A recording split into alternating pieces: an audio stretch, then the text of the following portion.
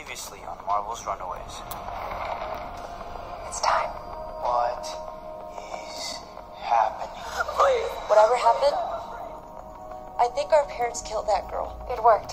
How do you feel? I feel fantastic. So maybe the bracelet is some kind of inhibitor. Which would explain why my mom never wanted me to take it off. Too much technic building here, uh, so we just didn't know if, if that's actually possible. It's something that moves the boundaries and completely redefines the standard. Before we could even start the construction process, the team had to do a lot of research and sketching. How do you feel? I feel fantastic. So maybe the bracelet is some kind of inhibitor. Which would explain why my mom never wanted me to take it off. You are the only other person that staff will work for. Why don't you keep it for the night? I trust you, Nico. I think there might be something wrong with me.